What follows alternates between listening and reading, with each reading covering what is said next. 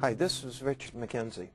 Uh, this module is about donor exploitation or how the recipient of gifts from a donor uh, can, can get the donor to give more in the way of gifts than the donor would uh, freely choose uh, to give. We can illustrate uh, the method that can be used with reference to a, a supply and demand uh, curve. Our demand curve is fairly uh, normal, consistent with demand curves in the past. We assume that there is a downward sloping demand for, for giving gifts. That is, if the price of the gift goes down, uh, then donors uh, would be willing to give more in the way of gifts. We, for, for purposes of simplifying the analysis, we have assumed that the supply curve is horizontal. This means that the marginal cost of giving additional units of of the gift is, is constant. It means that uh, uh, people can buy units of this gift uh, at a constant price of, of P1. And this is fairly descriptive of markets like candy. Uh, an individual can buy as many boxes of candy at the going market price as, as uh, the individual wants uh, to. Now we can reason that the donor will extend his, his or her gifts to the recipient uh, so long as the additional value indicated by the demand curve is greater than the additional uh, cost indicated by uh, the uh, supply curve. The donor is willing to give this first uh, unit of a gift uh, primarily because in giving that first unit, the donor incurs a price of, of P1 but gets a marginal value, something much higher say the price of the box of candy is $10, the donor gets maybe uh, 14 or $15 in, in, in, value. The donor gains uh, this much uh, in additional benefit. On the second unit, the donor gains uh, this much because the marginal value is up on the demand curve, the marginal cost is still P1, and the differences between those. As gifts are extended, the uh, the net gain to the donor uh, diminishes and is the gain to the donor is zero at a quantity of uh, Q1. Now, it, we can therefore assume that the total gains of the donor are equal to the net gains on each individual gifts from zero units uh, up to Q1. Or the net gain uh, to the donor is going to be equal to P1 A uh, B, that triangular area. Now the question is, can the donor uh, get the uh, recipient, I mean, can the recipients uh, get the recipient get the donor to give more than quantity Q1? Well, if the recipient asks for a quantity of uh, Q2, uh, the donor can reason, well, the marginal cost of each of these units beyond Q1 is greater than the marginal value, and as a consequence, the donor loses that little triangular area. We can call that C, uh, B, C, uh, D. Uh, the donor would not freely choose to move uh, to a quantity of uh, Q2. Now, there is a way in which the recipient uh, can, in fact, get Q2. it involves what we call in economics an all or nothing deal.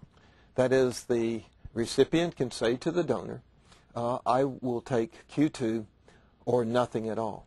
If in fact the, the donor can uh, does not give anything at all, the donor is reduced to giving gifts equal to zero, which means that the donor loses this triangle P1AB.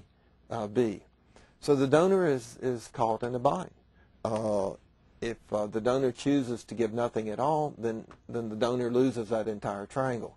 If the donor chooses to give Q2, uh, then the donor gains the triangle P1AB, loses on the triangle BCD.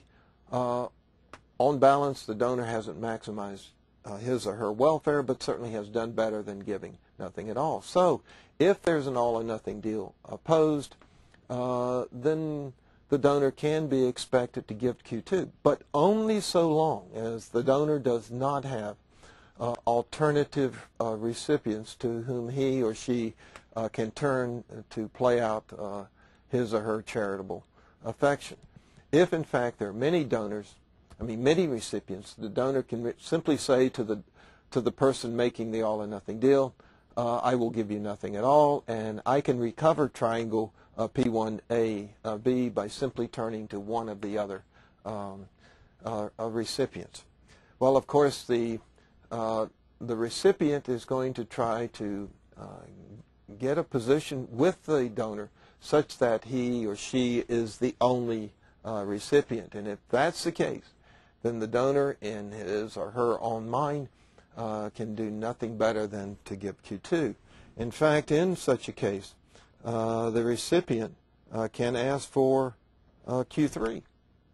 And the donor is going to have to concede to an all or nothing deal, that is, so long as the all or nothing deal is made uh, with some care, uh, simply because this much larger triangle is still smaller than this, um, than this much larger triangle. And by the way, this um, larger triangle has a special name. It's called uh, consumer uh, surplus.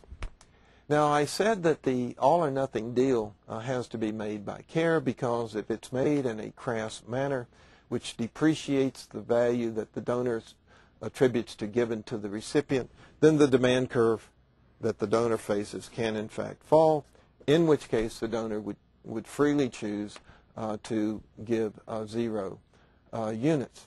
Well, assuming the all or nothing deal is made with some tack, Q2, Q3 can be extracted, so can Q4.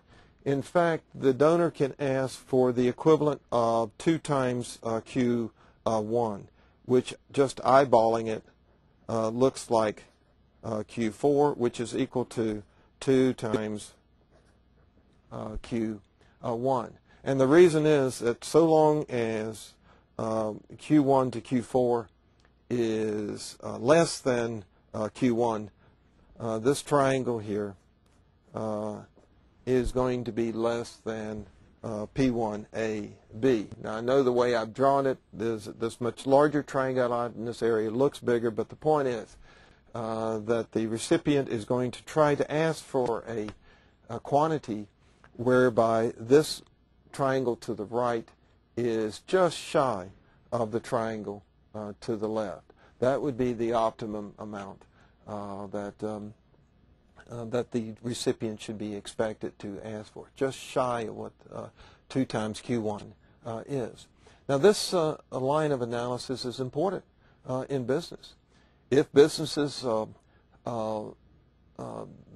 buy supplies from a from one supplier and the business is tied into that supplier, uh, that business can in fact gain a, a surplus of value uh, from buying uh, the optimum quantity Q1.